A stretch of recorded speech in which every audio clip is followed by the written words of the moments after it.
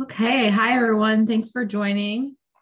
I think we'll probably still have a few people join as I get started here. So apologize if I have to stop for a minute to let people in. Um, happy New Year, everyone. My name is Catherine Pugh. I'm the Assistant Vice President of Policy here at EHI. Our EHI is, if you guys didn't see at the end of the year, we officially rebranded from uh, e-health initiatives to executives for health innovation. We're pretty excited about that. And we're also excited to be joined today uh, by Steve Posnack, the Deputy National Coordinator at ONC. Um, I was joking earlier, if you missed it, that um, someone, uh, one of our policy steering committee members, joked that we had booked Steve for the late night tour on TEFCA. late night TV tour of TEF for TEFCA. Um, it was purely coincidental, but great timing. Um, that if you missed it, uh, the TEFCA and QHIN framework were released earlier uh, today. And I think most of you probably just hopped off a call with ONC um, and Sequoia Project.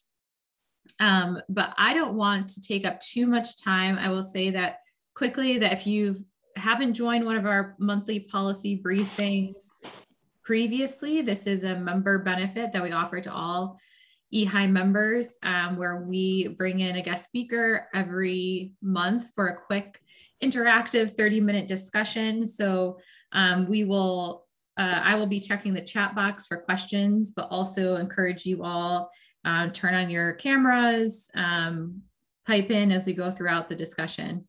Um, but I will turn it over to Steve, um, who needs no introduction, has been with ONC for I think more than 15 years now, involved in everything from the ISA to USCDI to TEFCA.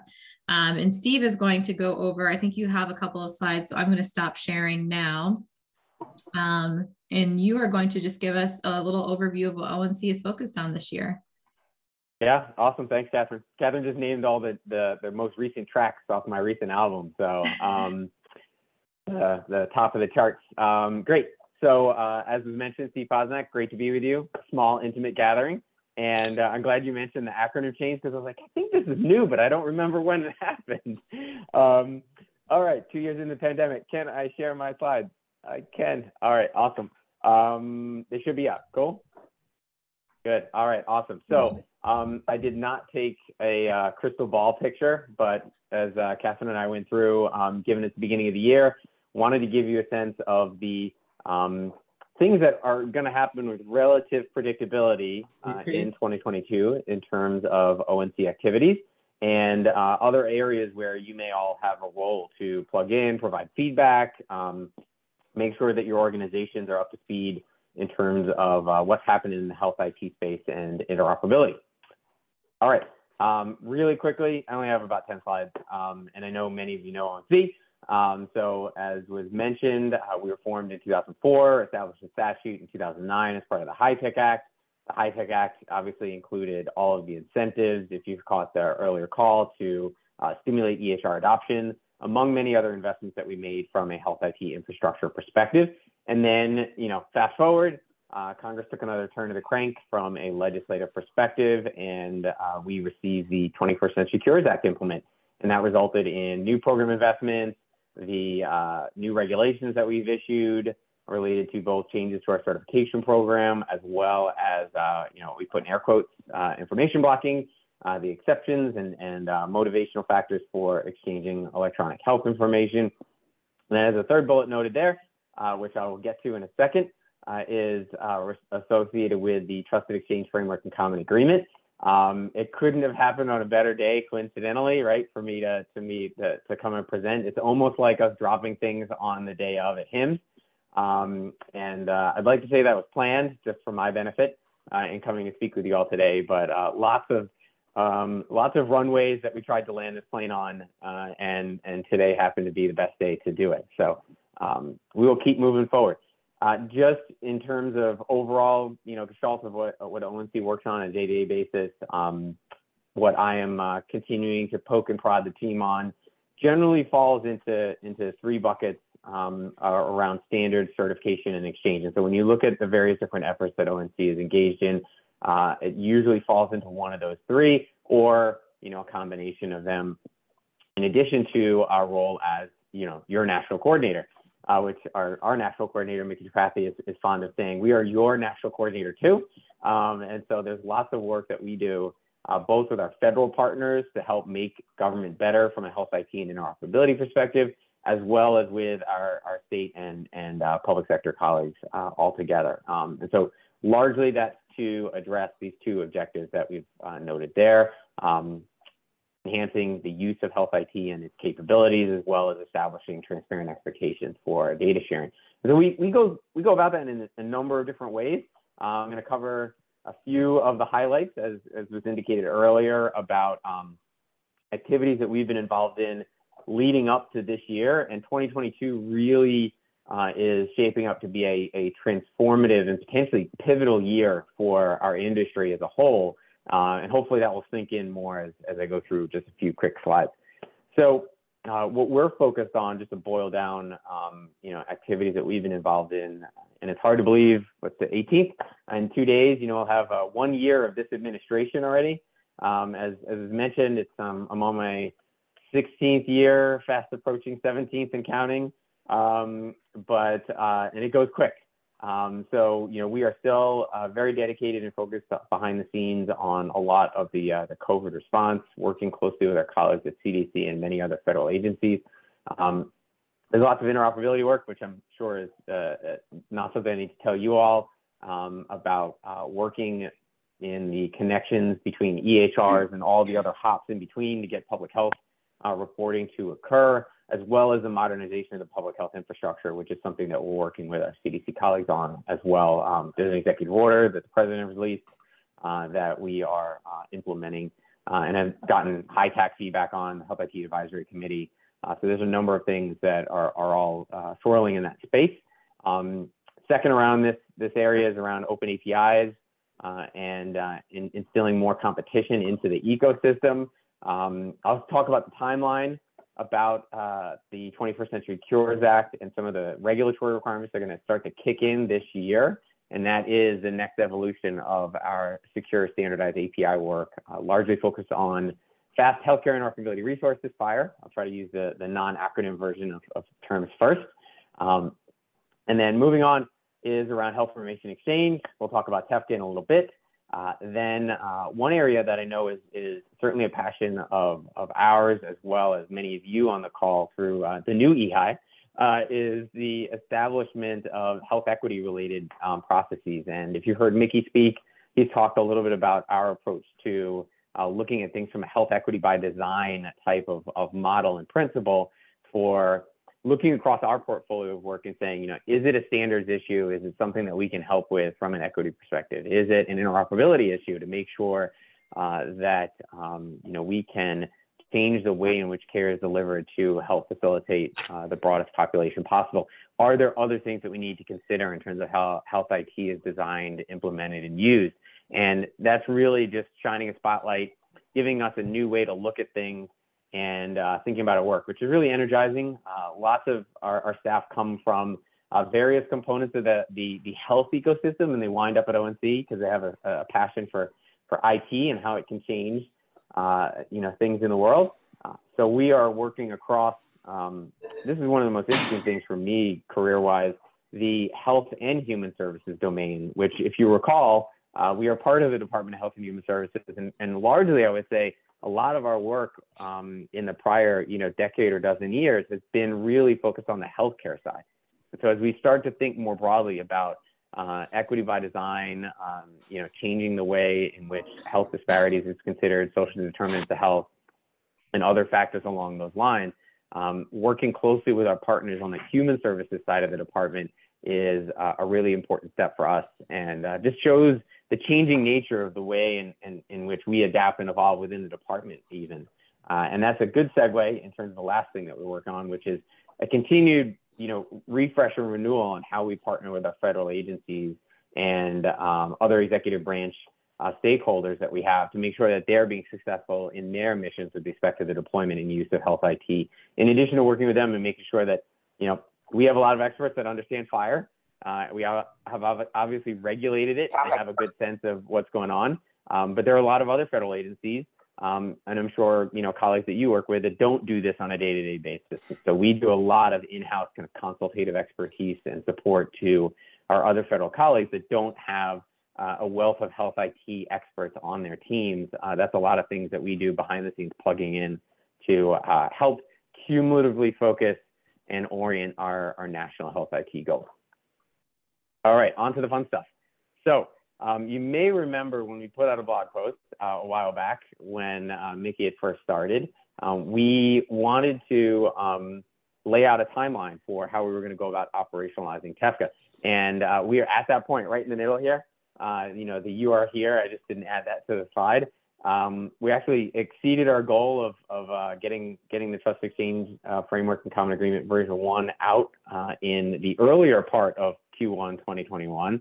So uh, that gives us a long uh, period of time throughout the rest of the year to work on the uh, implementation, the onboarding, the selection of qualified health information networks. That's what QHIN stands for if you're not fluent in TEFCA-EASE yet. And uh, you know, our hope, as we've noted, is uh, that by Q4 of this year, there will be uh, you know live information exchange under the common agreement. If you'd like to catch any of the resources uh, that are made available, um, you can go both to healthit.gov, so we have uh, slash TEFCA there, and then I think if you just go to rce.sequoiaproject.org, it will take you to the main main page. Um, lots of information that we've worked on uh, to um, make consuming effectively five years worth of, of work uh, in terms of implementing this section of the Cures Act uh, available to everyone and to catch you up on uh, all of the detail. Now, this is where I get to say, uh, but wait, there's more. Um, just like with any contract, uh, which is what the common agreement is, there uh, is going to be lots of other implementation details that need to get um, finished and buttoned up and loops closed, so to speak, where we have the QHIN technical framework, which is the, the more technical implementation guidance uh, for those networks that may be interested in becoming uh, QHINs. We also have a number of standard operating procedures that will be um, pushed out uh, over the next several months to uh, fully provide con contractual implementation um, you know, clarity and resources for stakeholders that may be either operating at the QHIN level or we have this participant and sub-participant uh, lingo that we use for those that are, um, you know, within or underneath a, a QHIN specific umbrella. So uh, that's your your up to the minute update on uh, the Trusted Exchange Framework and Common Agreement activities. The next I wanted to, to go through is, um, as you may recall from our Cures Act final rule, uh, we introduced the concept of the United States Core Data for Interoperability, USCDI, we went through the first iterative cycle of updating the USCDI to version two. We adopted that as the final version, uh, which um, you've got up here on the screen in July. And we are now starting the process, uh, as we do every January, hopefully from now on, uh, to put out a draft of the next version of the USCDI. Uh, so draft V3 will be coming out very shortly. Um, in terms of uh, identifying an opportunity for public comment and shaping that up until the point where, again, hopefully we're planning on being on a January and July cycle where we put out a draft in January as a result of all the feedback that we've captured in the prior year. Uh, we go through a public comment process, uh, reconcile those comments and feedback, and then ultimately uh, ONC puts out a next version of the USCDI. So um, you've got both January and July to look forward to in terms of USCDI related processes. Uh, that will also feed into something else that we introduced in the Cures Act final rulemaking, which is called the Standards Version Advancement Process. And so we often quickly acronymize that to SVAP, um, SVAP. And so that, that is um, connected to our certification program processes, where we recognize after many years of going through this uh, uh, regulatory cycles that uh, the standards community doesn't stop its work, and you all don't stop your work in terms of making updates and changes to implementation specifications and standards. We really needed a way to allow for the market to proceed ahead uh, and have their work continue to be recognized from a certification program perspective. So the SVAP processes that we've introduced will hopefully allow for uh, new versions of standards and implementation specifications to be uh, approved by the national coordinator for the purposes of the certification program. and provide a little bit of a, a predictability and, and uh, runway for uh, health IT developers in this case to move to newer versions voluntarily at this stage, um, and understanding what would be you know future requirements uh, as new regulations are considered in the future. The USCDI is part of that process and cycle. Uh, the SVAP cycle that we're currently in is um, set to be finalized uh, this spring uh, in the May June time period. And so, um, you know, that's another thing for you to be on the lookout for as well. All right, uh, one other thing that I wanted to call to your attention is not a streaming service, uh, but we do call it USCDI Plus. And uh, one thing that we recognize is that um, with the USCDI, it's the core data for interoperability. It has connection and is embedded within our certification program um, you know, serves use cases like transitions of care and patient access and other provider uh, uses of uh, the FHIR-based API that we've regulated. And that has a, a, a, specific, you know, baseline core focus, but there are many other use cases and specific from our federal partners that with additional consistency and alignment could really help add efficiencies to uh, the market, could help provide new clarity for uh, health IT developers and um, allow for us as a, as a country to coordinate and, and I like to curate a lot, you know, curate a set of data elements that really have an impact. Um, and as we looked at, you know, is the USCDI, you know, the thing to rapidly expand into this, you know, giant set of data, or do we want to keep that focused on, you know, this core set of data that's driven through uh, our, our, certification program in support of, of uh, some of the, the, key CMS programs? Um, and you know what can we do to support our federal partners that have other mission interests that could really benefit from a USCDI type model. And so at this stage, we are actively working on, as uh, we put out a blog post, I probably should have put the link on there, um, you know, with our colleagues in the public health and quality domain, so that's CDC and CMS, on areas where we can collaborate from a USCDI plus perspective to um, work with them to take what they need out of the USCDI, you know, the whole thing portions, and pair that with other data, that's the plus, uh, that may be relevant to their particular program activity. All right, uh, on to the dates. Um, and I'm starting to talk like a native New Yorker because I want to make sure that we have an abundance of time for you to ask some questions. Uh, we've got a top half, bottom half. Top half is certification, bottom half is in uh, information blocking. Um, on the top half side, uh, we're coming up real close to the uh, April 1st, which is the first attestation period for the conditions of certification. So LPT developers have a number of conditions of certification. Uh, this will be the first time that they will have had to make that attestation uh, relative to their product compliance. The other one that I want to, you know, flip back for for December of uh, 2021 was the first submission of what are called real-world testing plans. So that was another condition of certification that Congress required uh, as part of the 21st Century Cures Act. And each health IT developer needs to make their real world testing plans publicly available on their website. And so if you um, have a little trouble navigating any of the health IT developer sites individually, you can go to what's called our certified health IT product list or CHPL and you know pick that developer and navigate your way on the left side of their product uh, pages. Uh, you can see a, a, link for their real world testing plan. So what will happen is you track across that timeline there um, into March of next year, that's when they have to transparently and publicly report their results relative to those plans. So largely with respect to real world testing, you've got a performance year that the health IT developers are responsible for, and then they publish those results uh, the following year. The important deadlines that I wanted to call your attention to really happen toward the end of 2022. Uh, first, on the information blocking side, chronologically, October of 2022 is a big date where we shift from the 18 uh, month period at the beginning of the information blocking applicability date, uh, where just the USCDI version one data was in scope for information blocking. And as you shift into October, that's when, for those of you that are familiar with electronic health information, the other EHI, um, you have uh, uh, a much more expansive set of electronic health information that would be considered um, in scope for the purposes of information blocking, uh, access, exchange, and use, as the phrase goes, as well as for potential enforcement actions uh, in that future period as well. At the top part, you've got the uh, rollout requirements and uh, you know deployment of uh, the new FHIR-based API capabilities, uh, as well as the USCDI updates. Um, all of those are due to be rolled out to customers from health IT developers to which those requirements are applicable uh, by the end of this year as well. And so I often note this last phrase that I've got at the top title of the slide, which is these are comply by dates. And so, um, especially for the technology requirements for health IT developers, if they're ready to roll them out to their customers today, there's nothing preventing them from doing that.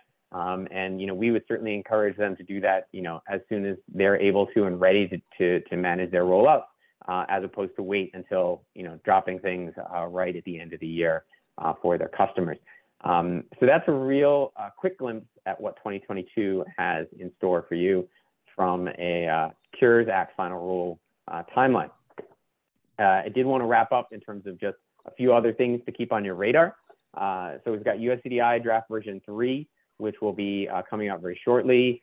We typically publish as well the reference edition of the Interoperability Standards Advisory. I think we're on the eighth or ninth uh, version of that. So I want to thank all of you, I'm sure, who have contributed over time to the Interoperability Standards Advisory.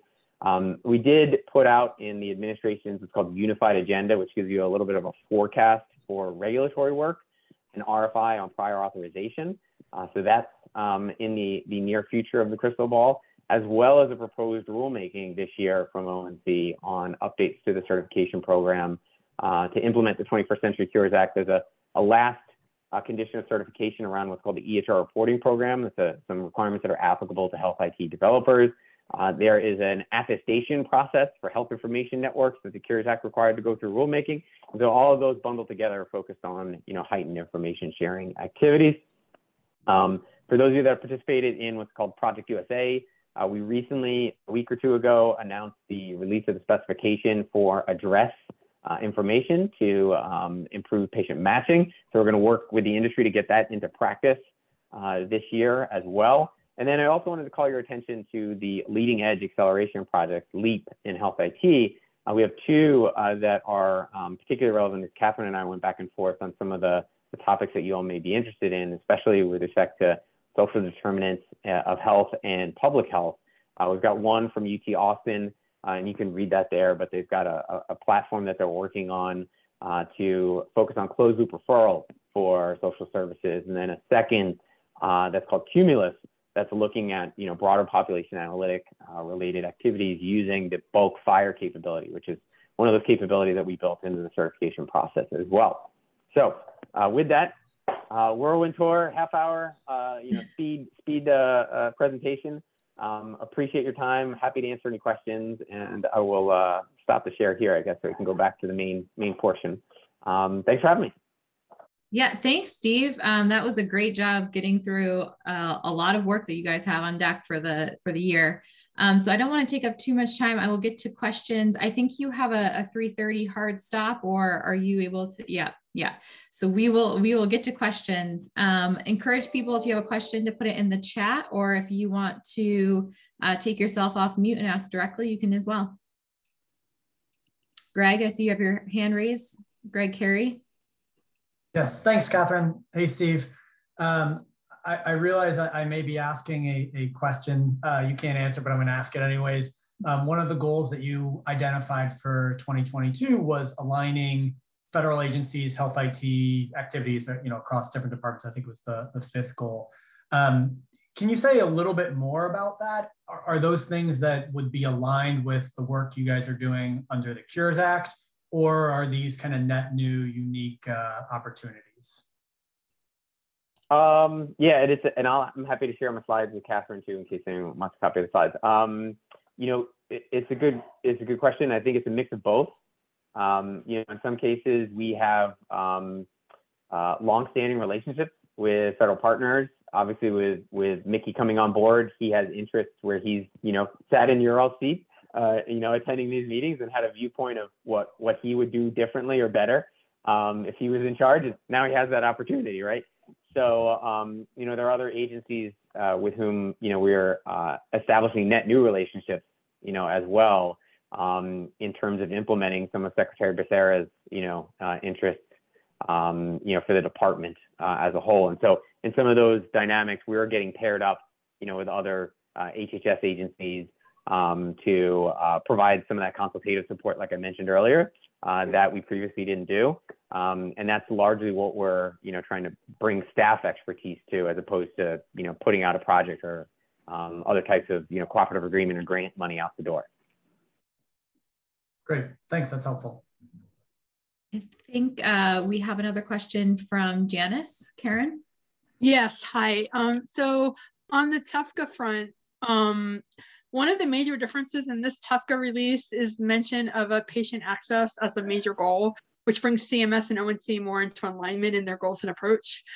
I haven't had a chance to read much of the new material yet, but can you speak to how patient access is enabled in this final version, particularly since there's no FHIR support? Yeah, um, and you know, so there's there's two parts in terms of the uh, common agreement itself um, as the kind of legal contract to establish the exchange purposes, and so what we call individual access services that is that patient access modality. Uh, there will be a um, standard, op standard operating procedure that will include more details around its implementation.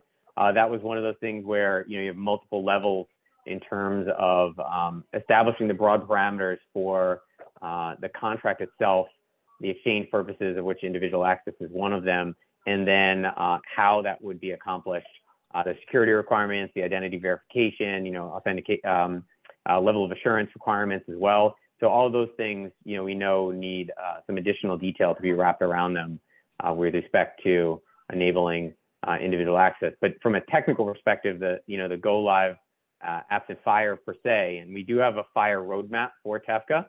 Um, that is, uh, you know, also I would encourage you all to take a look at too, because that will, you know, play into to your question as well. Um, the, the query mechanism through the network as it stands today, you know, would be the uh, method by which uh, individual access services would start.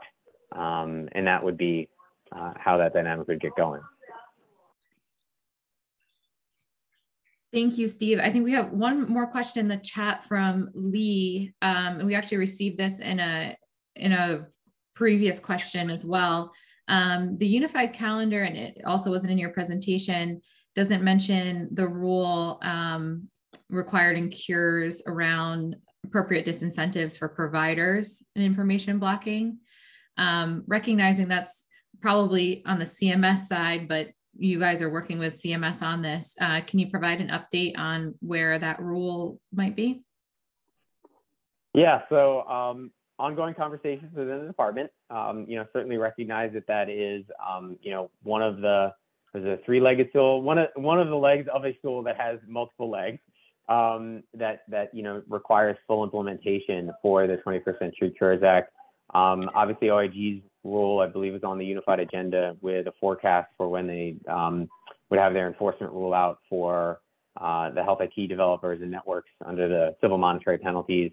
Um, for providers, it's ongoing conversations within the department about the, the mechanisms uh, for establishing disincentives um, and uh, how that would best be implemented uh, relative to you know the rulemaking requirements that we know we would need to go through. Um, so that would be one thing to keep an eye out uh, for um, into the future. Um, this year, you know, I would say we expect to make solid progress on that. Um, but uh, you know, with respect to unified agenda entries, uh, nothing, nothing that was ready at the time that we had to submit that, which is, you know, not to bore you with the bureaucracy and the process, but the, the unified agenda submissions happen like way upstream and they take a little bit longer than you would think to get out the door. Mm-hmm. Um, that one's typically called the fall unified agenda, and, mm-hmm. and it's you know sometimes it lands in the November December time period.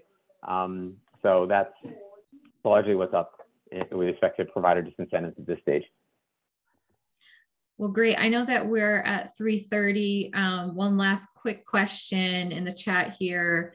Um, you mentioned the certification proposed rule um, coming out in July. Um, any quick thoughts on scope of that rule? Is it specific to the updates in the, in the information blocking required rule or information? Yeah, blocking? and I'll I'll uh, I, I bought myself like two more minutes from the, the other the other place that I have to go. Um, but it's another outside stakeholder, which I'm sure you can appreciate. Um, yeah. Not trying to keep them waiting. If it was my internal team, then I'd happily you know brush them back for a few more minutes.